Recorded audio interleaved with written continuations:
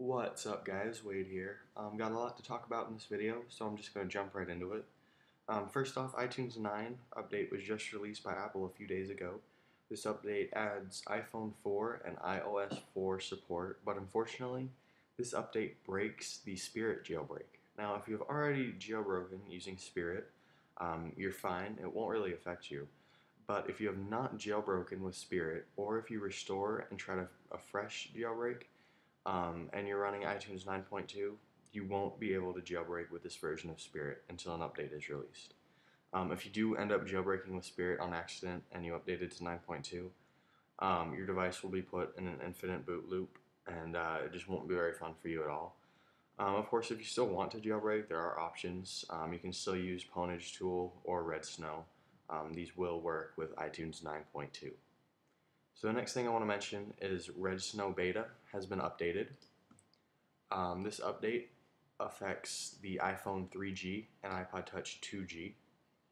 Um, this update is for the 4.0 Beta 1, Beta 4, and GM. Um, and what's cool about this jailbreak is that multitasking and home screen wallpapers um, can be enabled um, right from the jailbreak. So as soon as you jailbreak, you'll be able to have multitasking and wallpaper.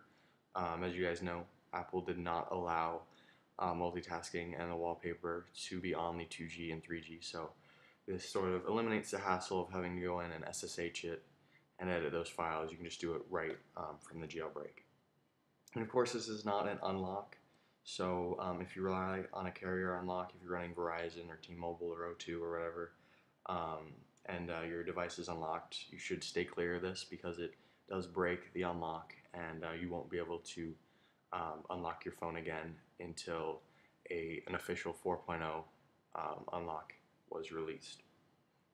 So another thing I just want to mention really fast is that UltraSn0w 0921 has been released. Um, it's not a huge release, um, and it really only affects a small number of people, um, but it is an unlock for iOS 4 GM, but only if you are on the 042608 baseband.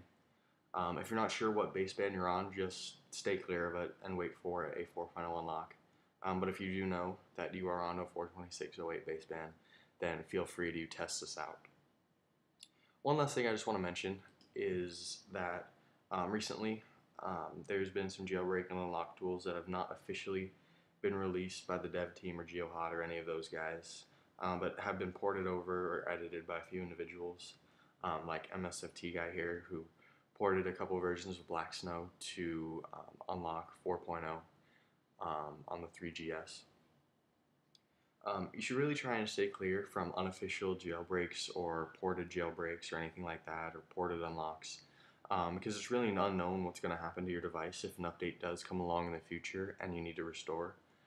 Um, if you want to look into this guy's work, um, then you're more than welcome to. I'll have a few links down there in the underbar, but um, I really do advise you to stay clear um, for right now and just wait for some um, official releases and uh, some more information on that. So there you go. Um, a lot of information, but a lot of things have been happening the past few weeks that I just wanted to get out there so you all know what's up. Um, if you want to keep up to date with all the upcoming unlocks and jailbreaks and all the 4.0 news, um, I'll have some links to some sites and to some people who are always on top of things like GeoHot, iH8Sn0w, um, MuscleNerd D7, and the iPhone dev team, and a few more. Um, as always, if you have any questions, be sure to post a comment or send me a message. I will do my best to help you out, and I'll catch you guys in the next video.